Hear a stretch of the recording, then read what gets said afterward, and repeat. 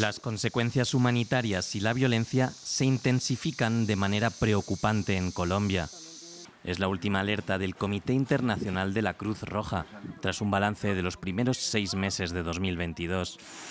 Destaca el aumento de un 43% de las víctimas de artefactos explosivos, el desplazamiento de 70.000 personas y el confinamiento de otras 19.000.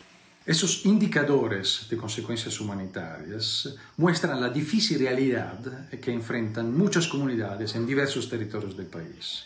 Aún así no logran reflejar de manera completa el temor, la zozobra, la desesperanza que producen los conflictos armados y la violencia en Colombia.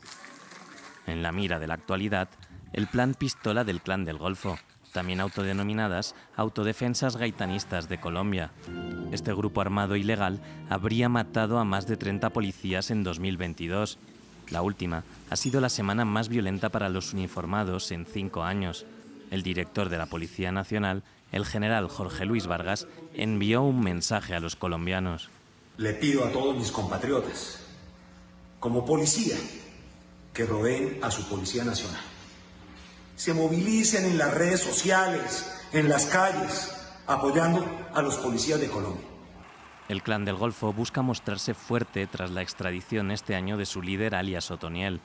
Y también, igual que otros grupos, se erigen como una estructura unificada de cara a una negociación con el nuevo gobierno de Gustavo Petro, que ha prometido la búsqueda de la paz total. Me llamo Gustavo Petro